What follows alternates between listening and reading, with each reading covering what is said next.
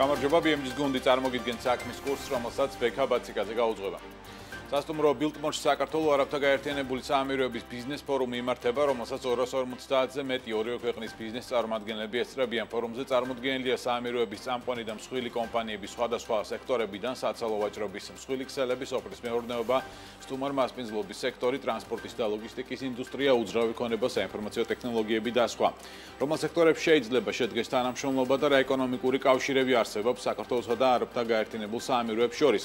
ელენე გოგბერაშვილი გვერდება ფორუმის დეტალებით ელენე მოგესალმები გისმით მოგესალმებით ბექა საკმაოდ წარმომადგენლობითია საქართველოს არაბთა გაერთიანებული საამიროების ბიზნეს ფორუმი რომელიც საქართველოს სავაჭრო სამრეწველო პალატის ორგანიზებით იმართება. ფორუმში 300-მდე ქართული კომპანია მონაწილეობს.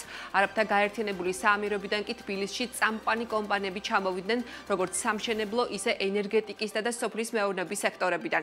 ფორუმს ესწრება ერთ-ერთი მსხვილი ჰოლდინგის ლულუ გრუპის ხელმძღვანელობა რომლებიც უკვე ახორციელებენ საქართველოსთან სოფლის მეურნეობის პროდუქტების იმპორტს და სურვილი აქვს საიმპორტო საქონლის გაფართოების. მთავარი გამოწვევა, რაც ორ ქვეყანას შორის სავაჭრო ეკონომიკურ კავშირებს ხელს უშლის ლოგისტიკა.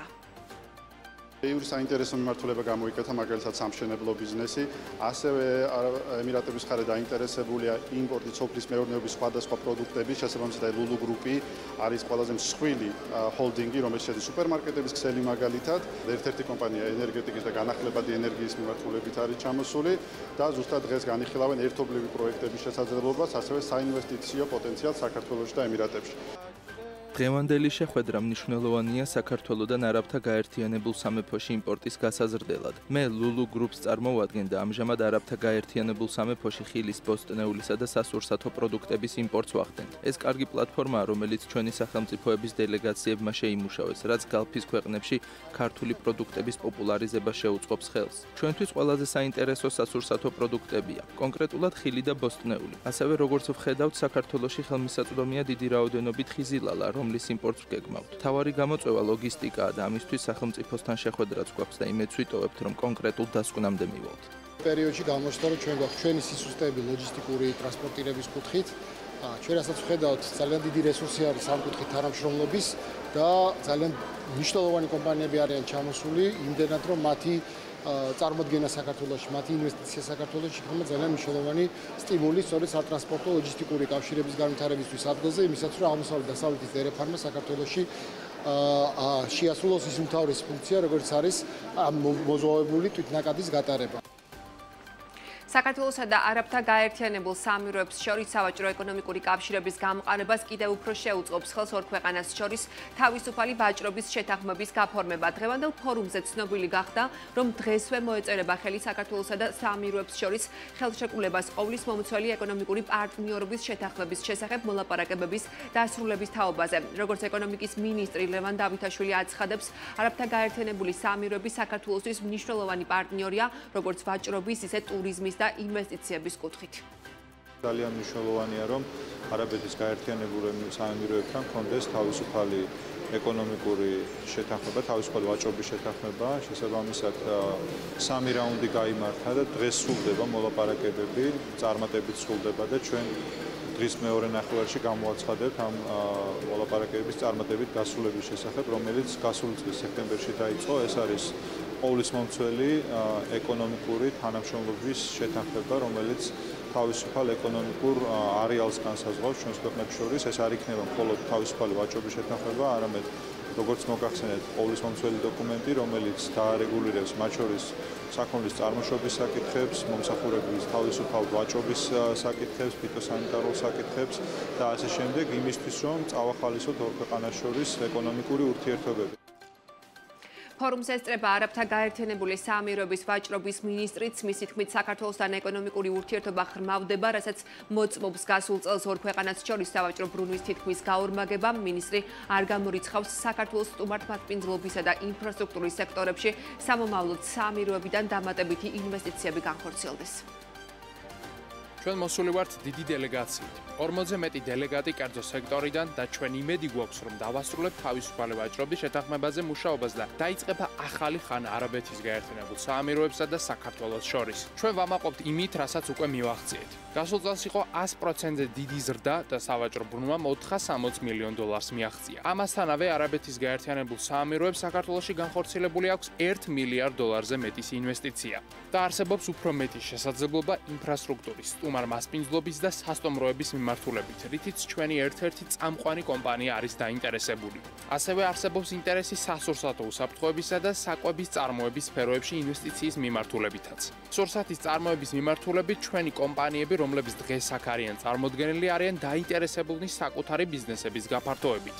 ჩვენ ამასთანავე ვართ დაინტერესებული საპორტო ინფრასტრუქტურით, საბანკო სისტემით, ასევე ახალი სექტორებითა და ტექნოლოგიებით, რომელთა შესახებ ბიზნეს საბჭოს ფორმატში ვისაუბრებთ და უფრო კონკრეტულ პროექტებს განვიხილავთ ორ ქვეყანას შორის. ჩვენ გსურს ამ პარტნიორობის გაღრმავება და მისი შემდეგ საფეხურზე გადაყვანა. რაც შეეხება საქართველოსა და საამიროებს შორის სავაჭრო კავშირებს. საქართველოსა და არაბეთის გაერთიანებულ საამიროებს შორის ვაჭრობა 2022 წელს სტრატფი ტემპით გაიზარდა ექსპორტი 51%-ით 31 მილიონ დოლარამდე გაიზარდა ხოლო იმპორტი 98%-ით 283 მილიონ დოლარამდე. არაბეთის გაერთიანებულ საამიროებში საქართველოს მთავარი საექსპორტო საქონელი მსუბუქი ავტომობილებია რომლის ექსპორტიც გასულ წელს 24%-ით 11 მილიონ დოლარამდე გაიზარდა.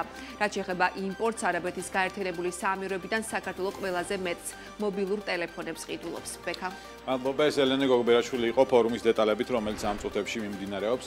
განაგზობთ გადაცემას თბილისში კომერციული მომხმარებლებისთვის ტარიფის ზრდა არ იგეგმება, ამის შესახებ თბილისი ენერგიის ფინანსურმა დირექტორმა პაჩა გურგენიძემ BMG-ს განუცხადა. სამომხმარებლო ტარიფისგან განსხვავებით საქართველოში ბუნებრივი გაზის კომერციული ტარიფი დერეგულირებულია, შესაბამისად კომპანიები არასაყოფო ცხოვრებო მომხმარებელ საბაზრო პრინციპების შესაბამისად განუსაზღვრავენ მიწოდებული ბუნებრივი გაზის საფასურს.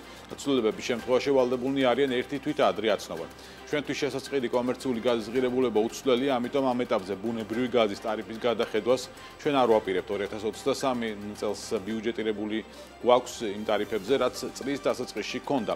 გულისხმობ სემეკთან შეთანხმებულ სამოხმარებლო ტარიფს და კომერციული აბონენტებისთვის მოქმედ ტარიფს. არ მგონია რომ ტარიფი გავზარდოთ, მაგრამ არ ჩემცირებას მოველით, როგორც ვთქვი, ჩვენთვის შესაძლებელი ფასი არის უცვლელი აცხადებს გურგენიძე. დღესდღეობით არსებული პროფესიული სასწავლებლები, რომლებიც კადრებს ზრდიან, ეს არის წყალში გადაყრილი ფული ამის შესახებ რესტორატორთა ასოციაციის თავმჯდომარე შოთა ბურჯანაძემ განაცხადა მისი თქმით, მხოლოდ კადრების დეფიციტის პრობლემაზე საუბარი მთავარი არ არის აუცილებელი ამ კუთხით ნაბიჯების გადადგმაც. სახელმწიფოსთან ერთად კოორდინირებული მუშაობა არის მნიშვნელოვანი. ეს გულისხმობს პროფესიონალ სასწავლებლების შექმნას რომ სადაც გაიზრდება ის კადრები, რომელიც უშუალოდ ბიზნესისთვის არის მნიშვნელოვანი. დღესდღეობით არსებული პროფესიონალური სასწავლებლები, რომლებიც ზრდის კადრებს რეალურად ეს არის წყალში გადაყრილი ფული.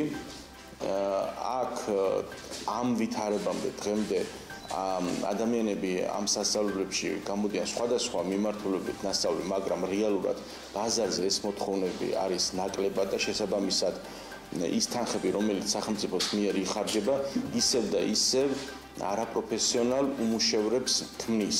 რაც შეეხება გასტარბაიტერებს, რომლებიც საქართველოში შეიძლება იქნას ჩამოყვანილი, ეს გარდაუვალი არის 2022 წლის მეოთხე კვარტალში საქართველოს საშუალო თვიური ნომინალური ხელფასი გასული წლის შესაბამის პერიოდთან შედარებით 309 ლარით და 90 თეთრით გაიზარდა და 1774 ლარი შეადგინა.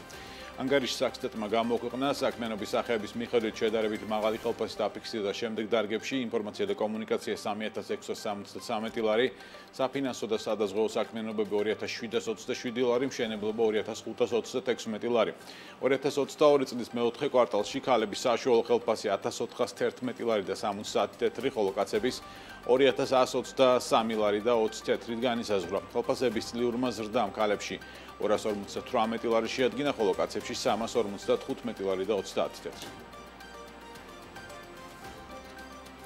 საავტომობილო ბაზარს 2023 წელს პოზიტიური მოლოდინი აქვს. გალთენ ტაგარტის საავტორიზებული დილერები გაყიდვების 15-20%-იან ზრდას ელოდებიან. საინვესტიციო ბანკის კვლევაში აღნიშნულია, რომ ამერიკის შეერთებულ შტატებსა და ევროპაში ახალი ავტომობილების გაყიდვებში დაფინანსების წილი 70-85%-ის ფარგლებში მეტყეობს. საქართველოში ეს მაჩვენებელი 15 და 25% შორის ამ კვლევაში აღნიშნულია, რომ საავტომობილო ინდუსტრიაში ელექტროფიკაცია გარდაუვალია და აუცილებელია საქართველოს მოემზადოს ამ პროცესისთვის.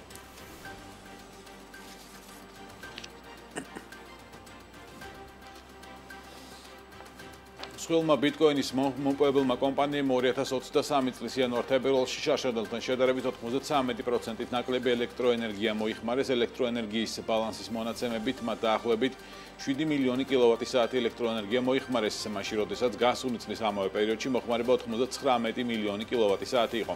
აი პრესის მონაცემებით 2022 წლის იანვარ-თებერვალში პირდაპირ მოხმარებლად დარეგისტრირებულმა BFDC 62.6 მილიონი კილოვატი-საათი ელექტროენერგია მოიხმარა, მეორე ადგილზე 22.6 მილიონით იყო. IT-ლები 11 მილიონზე მეტი მოიხმარა, Data Hub-მა ხოლო 3.3 მილიონი. JM International-მა სრულად შეცვლილია ვითარება წელს ორ თვეში, Data Hub-მა მოიხმარა 6 მილიონ 810.000 კილოვატი-საათი, ხოლო BFDC მოიხმარა 204.000 კილოვატი-საათი.